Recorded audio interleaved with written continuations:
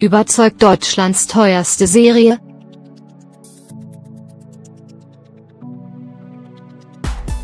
Die bisher 16 Folgen von Babylon Berlin haben an die 40 Millionen Euro verschlungen.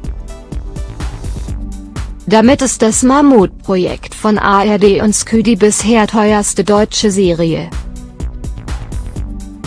Am 13.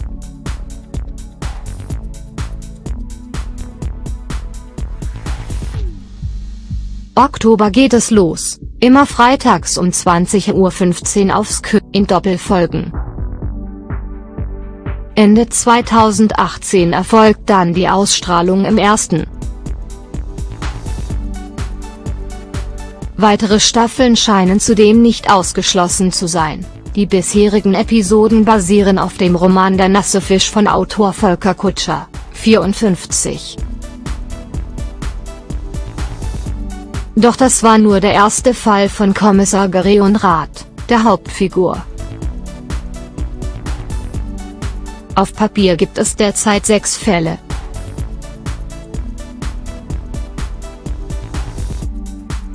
Stoff für mehr Babylon Berlin wäre also vorhanden. Die Erwartungshaltung für dieses Großprojekt ist hoch, wegen des Rekordbudgets und der CRE mit Gravis Mede la CRE mit Gravis Me der deutschen Film- und Fernsehbranche, die für hinter und vor der Kamera engagiert wurde. Doch hält die Serie, was sie verspricht? Die Nachrichtenagentur Spotter News hat die ersten vier Folgen vorab gesichtet. Das Schauspielensemble von Babylon Berlin überzeugt auf ganzer Linie. Volker Bruch alias Greonrad wirkt von Minute 1 an mysteriös, was treibt ihn an? Gehört er zu den Guten oder zu Bösen? Seinem Geheimnis will der Zuschauer auf die Spur kommen. Liv Lisa Fries scheint als Galote Ritter der leichtfüßige Gegenpart zu sein, die durch die 1920er Jahre tanzt und gerne redet.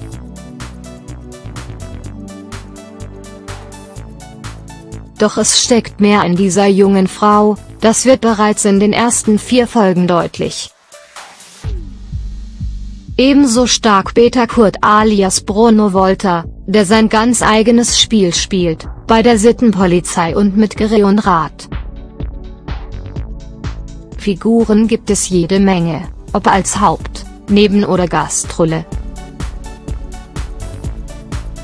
Und sie alle passen wie die Faust aufs Auge. Die Casting-Leute haben ganze Arbeit geleistet. Nach den ersten vier Episoden sind noch lange nicht alle Charaktere aufgetaucht, es bleibt also spannend. Vor allem dadurch neue Figuren die Dynamik wieder neu gemischt wird. Allein die Dynamik zwischen Greonrad und Galote Ritter scheint unberechenbar zu sein. Für den Comic-Relief sorgt zum Beispiel Karl Markowicz, da huscht sogar Gereonrad mal ein Lächeln über die Lippen. Neben dem hervorragenden Schauspielensemble punkten auch Story und Umsetzung. Durch die unterschiedlichen Erzählstränge könnte der eine oder andere Zuschauer zunächst zwar verwirrt sein, aber muss denn gleich nach einer Folge alles klar sein? Nein, das nennt sich Spannungsbogen. Also Geduld bewahren, es lohnt sich.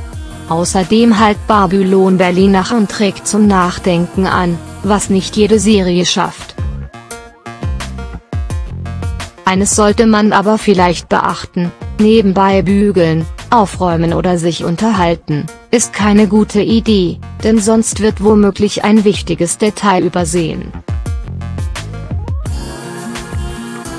Apropos Detail, die Kulisse, die geschaffen wurde, ist herausragend. Das Berlin der 1920er Jahre verschlingt einen förmlich. Ganz gleich, ob beim ausgelassenen Tanzen im glamourösen Ambiente oder in den beengten Verhältnissen, in denen zum Beispiel Carlotte Ritter wohnt. Berlin kommt eben auch dreckig und düster daher, was jener Zeit mehr als angemessen erscheint. Außerdem hat man das Gefühl von einer Rauchwolke umgeben zu sein, denn damals ging der Glimmstängel offenbar kaum aus.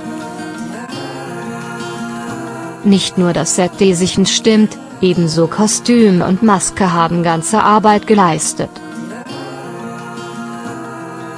Babylon Berlin lebt von dieser Dete-Verliebtheit. Babylon Berlin mag nach den ersten Folgen schwer zu beschreiben sein, doch genau das macht die Serie sehenswert. Die grandiose Umsetzung zieht einen tief hinein in das Berlin der 1920er Jahre, in den Glamour ebenso wie in den Moloch. Hinzu kommt, dass der Zuschauer die Geheimnisse und Charakterzüge der Protagonisten ergründen und aufdecken will, die Top-Besetzung zahlt sich aus. Wie und wann werden die Erzählstränge wohl zusammenlaufen? Eine deutsche Serie, die endlich mal wieder fesselt und Lust auf mehr macht.